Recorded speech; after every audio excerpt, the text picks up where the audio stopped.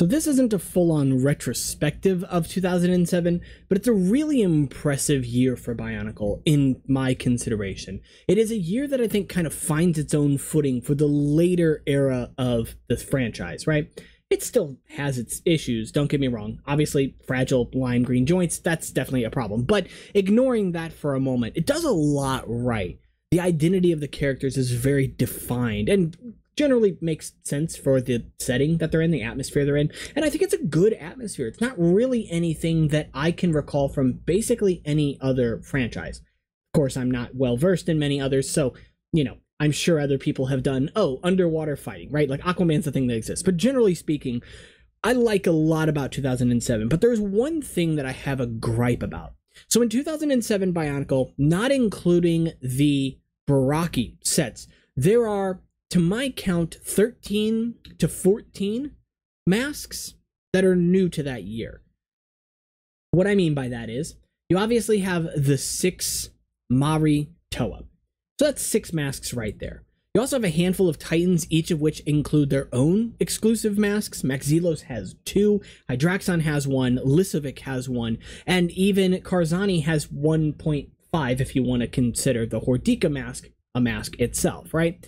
So generally speaking, there's a lot there, but one thing that 2007 is missing is black and white masks specifically. Now, I don't know the specific reason for this. I don't have an issue with getting more silver masks, but until this point, I believe we had four, right? We obviously got a silver mask, the Avohkii, all the way back in 2003 on the Makuta set for his hands. Two of them. Pretty generous overall. We also got the silver Norik mask, which is Turaga Dume's mask, but, you know, in silver. Great mask. It's a lovely piece.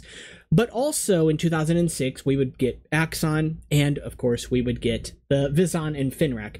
And assuming if you consider Fenrakk's head a mask, I don't, but generally speaking, that's still two more masks, right? So overall, we're, we're pretty good on those. Now, we had a lot of black and white masks, you could make the argument, but I'm looking specifically at axle based masks here, so I'm excluding Toa, Turaga, and Toa Nuva masks, and obviously I'm excluding Krana, Kraata, things like that. So in that regard, we really only have two, right? The Metru masks. And again, if you want to consider the Hordika masks, we have those, but I'm rounding this down to axle-based masks specifically. Now, they're good masks in general, don't get me wrong, but I do have one issue with Nuju specifically, right? Having the scope inexplicably placed on his mask, a thing that had not belonged to him before, and a mask power that's not really his anyway. But that's fine, I can sit beside that, no big deal.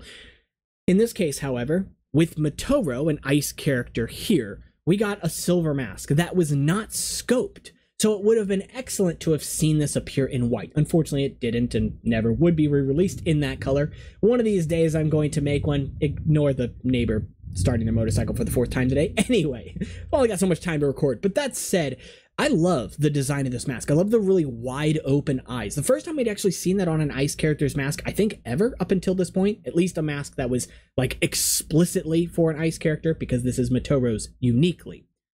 But silver's its own thing, right?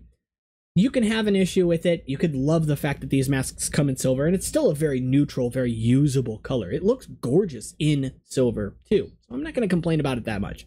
It's a gripe, sure, but it's a small one. No, the more major gripe that I have, though, is, and this is also something shared with at least most of the silver masks from 2007, is the inexplic- in- inexplicable asymmetry of these masks. Because when we look at the Tryna, it's not only that it's silver, but it also has this one connection off to one side. And why is that? I'm not saying it's bad, it's actually nice, and I think that it would have been nice to get more masks even in the future with connections like these. But generally speaking, just one connection here for a bar sized item. Why not mirror that? It wouldn't have looked any worse having mirrored it, so why not?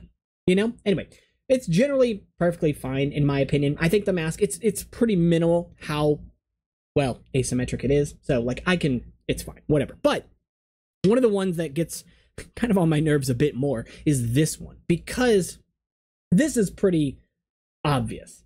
It, it's right there out in the open, you know? And it's interesting to me because there were prototypes of this mask that had one of these on each side. Now, I wouldn't have even stood behind that. Like, I, I prefer it probably just for the sake of symmetry. But my solution would have been a little bit simpler. It would have been an extra cost, don't get me wrong, and I have talked about it in a previous video, but when we look at another mask that's very egregiously asymmetric, and it's not going to show up super well here because of the, you know, saturation of the red, but this is kind of obnoxious to me. This is, for all intents and purposes, a Hau from 2007, but it's got all this other stuff tacked onto it and why. Like, I, I get it, they serve a purpose in the actual set itself, but they don't need to be there. And LEGO designs these sets at the end of the day. They can design around these things. Or, what I might have preferred, make those connection points attached to the mask itself inward, and then add a sprue. Now, this is where I think things get interesting. Sprues are not unique, and in fact have never really appeared in Bionicle at all, at least not in anything that isn't a system set. But sprues are very useful because they allow LEGO to make one mold, but you get multiple items and thus choice of items as well. What if each of your Toa Mahri sets came with one of these sprues and maybe LEGO designs two sprues in total? And now it's up to you what breathing apparatus they have. Do they have one that sticks off of the side? Obviously, if LEGO gives you plenty of connection points, as they've done here with these bar holes on the side, maybe add a bar hole on each side here as well and then make all of these sprue accessories attached to those bar points, that's pretty nice, right? Because now you have something that you can completely customize. And here's the thing the Toa Mahri are great sets. Don't get me wrong.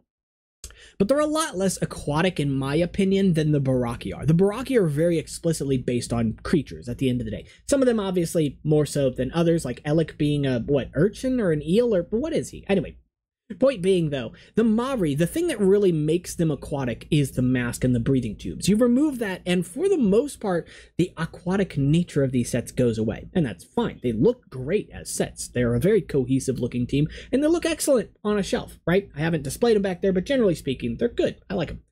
stand behind them. But how cool would it have been to allow these masks to be able to attach to not only the sprue accessories that come with each of these sets and give customers the choice of which sprue they want to attach? Obviously, you can have an official one in the booklet, a canon one, whatever the case may be. Or maybe it's in the story that they are able to switch between these different items and the different items perform different tasks. One is a breathing apparatus, one is a light apparatus, whatever the case may be. And then you could have it generally explain that the characters are able to breathe underwater, but the breathing apparatus just makes it better or more efficient or it extracts something out of the water, whatever the case is, right?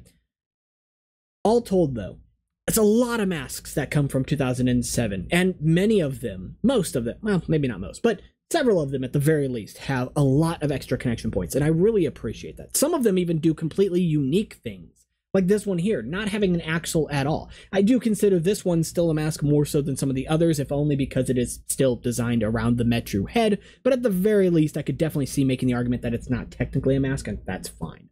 At least not, you know, by the definition of this video. But there's a lot of masks for this year, and they all look exceptional. So, these are just gripes of mine. Do I see them as a problem? Nah, not really. Would I criticize the year because this is a thing that exists? No. And in one regard, LEGO did address it because there is another mask that is also asymmetric, and it's Axonn's right here on another black character, but unfortunately using a silver mask. And thankfully, LEGO would give us a replacement for this piece via Von Nebula. And now I hate saying Via and Von right after each other, but point being, right?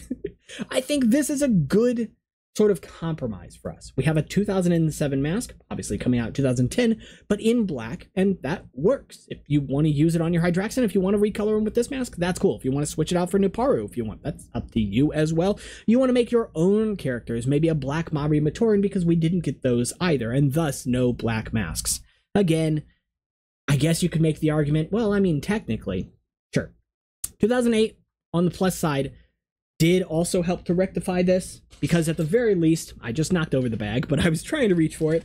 2008 gave us the one and only white symmetric mask that has an axle connection on it. A lot of people harp on this guy, and I think that that's fair. He's very vanilla, but I mean, all of the 2008 Av-Matoran were.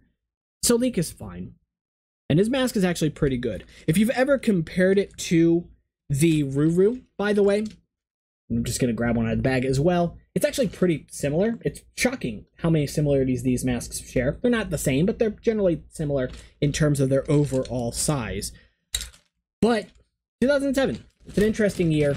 and I think that um, it's a pretty good one, all things considered. Before I end this video, I did also want to show something else off. I did want to ruin your childhood finally, um, since I haven't done that yet, by telling you that Norik's or Dume's mask here is not the same mold as Dekar's, which I find interesting. They're basically the same. They might as well be.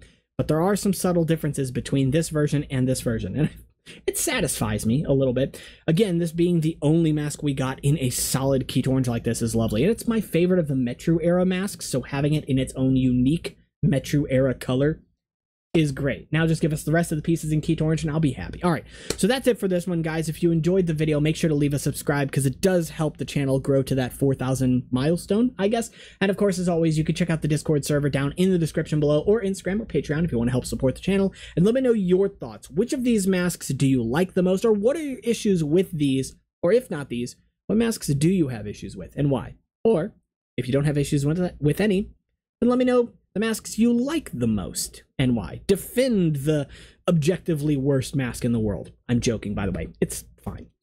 all right, I'll see y'all in the next one. Take care.